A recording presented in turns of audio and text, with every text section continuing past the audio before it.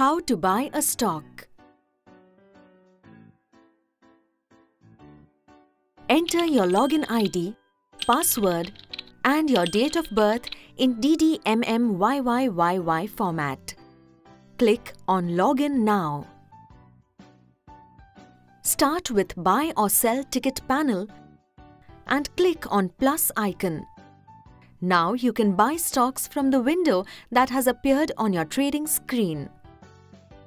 You can also buy stocks from the Market Watch page by clicking on the plus icon placed before the stock of your choice. Select Equity in the segment category and the exchange as BSE or NSE. Choose the cash product and enter the stock symbol and other details. For example, if you want to buy Coal India, enter up to 3 characters Select the stock from the options listed on the screen, key in the quantity and the price for your order. You can choose either market price or limit price to execute the transaction.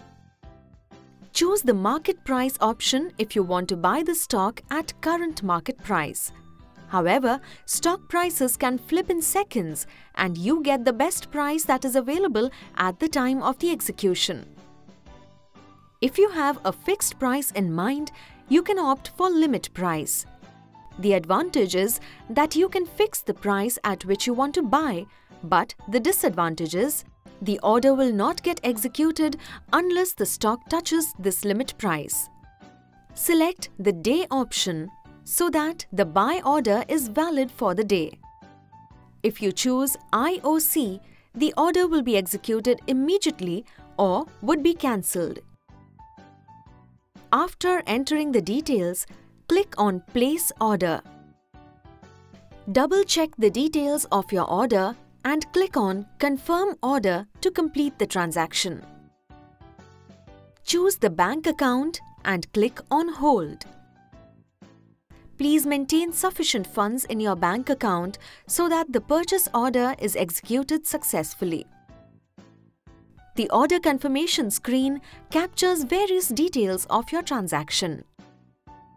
Track the status of your order from the order book. The shares purchased by you will get credited to your demat account in T plus 2 days.